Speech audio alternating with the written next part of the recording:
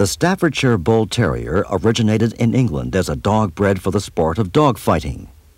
Through careful breeding, today's Staffordshire Bull Terriers are gentle, affectionate, trustworthy, and loyal, earning them the nickname of the child's nursemaid.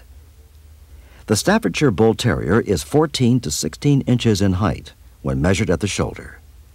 Males are between 28 and 38 pounds, and females are between 24 and 34 pounds.